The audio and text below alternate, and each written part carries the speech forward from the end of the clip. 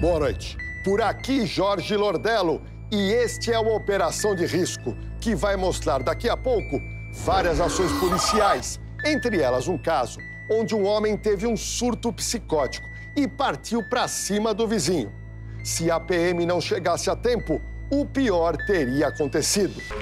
Denúncia de, de tráfico de entorpecentes, local conhecido já da, das equipes.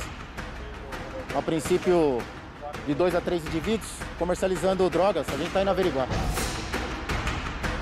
A equipe se aproxima do local do chamado. Correu ali, ó. Correu pro seu lado esquerdo. Vê se o portão tá aberto.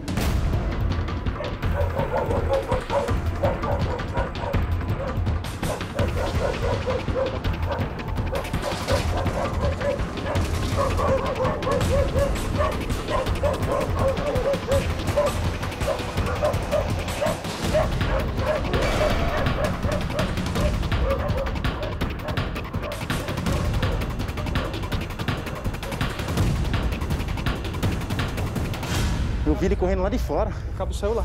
Eu vi ele correndo lá de fora.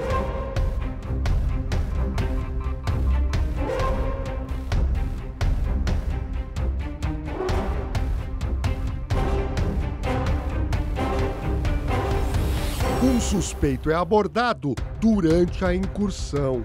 Senta em cima da mão. Senta em cima da mão. O funcionário do tráfico indica onde a droga está escondida. Colocou um negócio preto ali, uma sacola preta ali atrás daquele negócio ali, ó. E saíram correndo. Mostra pra mim. Aqui, eles tinham colocado aqui assim, ó. E aqui? Aqui? Onde tá? Ali, eles tinham aqui, ó, aí, ó. Colocou aí. Dá uma olhada aqui. O local que ele indicou. Aqui, ó. Escola preta, ele indicou aqui o. Antepara aí. Droga. Beleza. Dá uma seguradinha. Tranquilo. Apare- Aparentemente maconha. Vários tamanhos de porções. Dinheiro. Cocaína, possivelmente cocaína.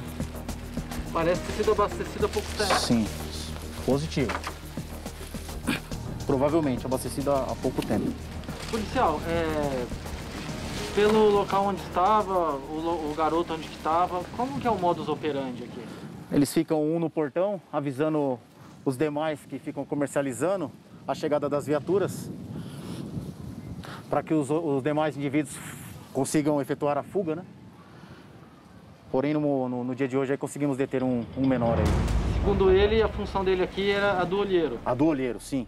Informar onde a chegada das viaturas e vigiar o local da droga que eles escondiam, né?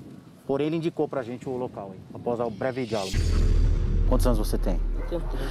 Desde quando você trabalha aqui? Eu não trabalho aqui, não. Ó, Não, sério, não tô mentindo pra vocês, não. Você aqui. tem filmagem, né? Tem tudo seu. Mas eu não Então, trabalho você- aqui, não. nós vai lá, nós vai trocar ideia na moral com o delegado, entendeu? Tá. Vai explicar a situação. Você mostrou pra nós onde estava a droga, entendeu? Então não vem com conversinha que você não trabalha aqui. Não, não, não Você trabalha aqui. Trabalho. E a fu- sua função eu não sei qual que é, você tem que falar.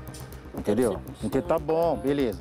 Quanto tempo você trabalha aqui? Quanto você ganha por dia? É isso que eu quero saber. Você vai conversar comigo? Não, Não, de boa não. você, Não, você tá conversando, mas você não tá me explicando ou me respondendo o que eu tô te perguntando. Você mora na onde? Eu moro lá no... Põe a mão pra trás. Eu trabalho... Eu moro Quanto você ganha por dia aqui? Não, não. Você vai conversar comigo na boa, não? Não, não trabalho. Você trabalha de graça aqui. Você já falou onde tá a droga, eu quero só saber quanto você ganha. Eu preciso dessa informação, entendeu ou não? Não, eu vou falar a verdade, ó. Põe a mão pra trás. Vou perguntar e você responde. Vou perguntar e você responde. Quanto tempo você trabalha aqui? Eu só vim só hoje. Quantos anos você tem? Tenho 13. Quanto você ia ganhar pra trabalhar aqui? Os caras vão ter me dar 50 reais. 50 reais. Você esconde a droga, Não, a droga ele se escondeu. Tá. aqui. mas você mostrou, né? Você que achou pra mim a droga, né? Você que indicou onde tava. Então tá bom. Senta aí. Pois é, então, é, já tem a localização da droga? Tem a localização da droga, o, o- menor aí indicou. Ganha 50 reais por, por dia para ficar nessa função de olheiro. E esconder o entorpecente aí para as viaturas não encontrar. Porém, ele indicou o local, já foi localizado. É comum o tráfico de drogas usar aí da mão de obra de menores para algumas funções? Com certeza os traficantes utilizam menores é, devido às, às brechas na lei, que os menores saem antes da cadeia. E é uma prática comum os traficantes utilizarem menores. E qual é o procedimento agora? O procedimento agora é entrar em contato com os responsáveis do menor e conduzi-lo até o 46DP,